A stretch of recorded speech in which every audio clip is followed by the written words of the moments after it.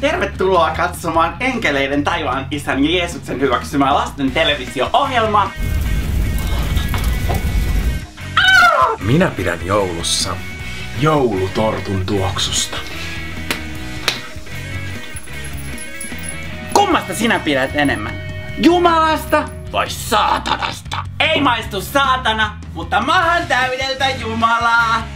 Nyt tulee kyllä Santun suusta niin paljon syntiä, että Jumala lyösi vaan kohta salamalla päähän.